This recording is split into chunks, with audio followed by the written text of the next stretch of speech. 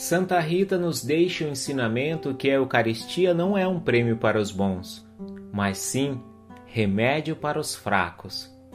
Durante sua vida, para superar os desafios, sempre recorreu à oração e o sacramento da comunhão. Um lugar importante que marcou a sua vida para sempre foi a igreja dedicada a São Montano.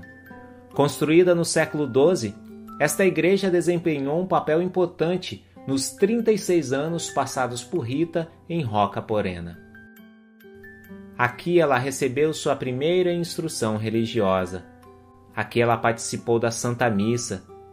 Aqui ela se casou com Paulo de Ferdinando e se nutriu da Sagrada Eucaristia para superar grandes desafios de sua vida.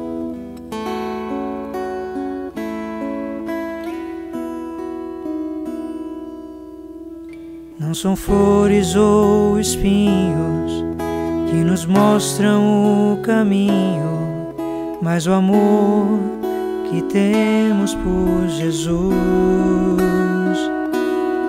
Além das pinturas preservadas, no interior da igreja se encontram sepultados seu marido Paulo e seus dois filhos, Giangiacomo Antônio e Paulo Maria. Neste vale caminhamos e também nos perguntamos por que tanto sofrimento e tanta dor. Certo dia uma mulher nasceu e em Cássia seu nome floresceu. Ela tinha mil motivos para chorar.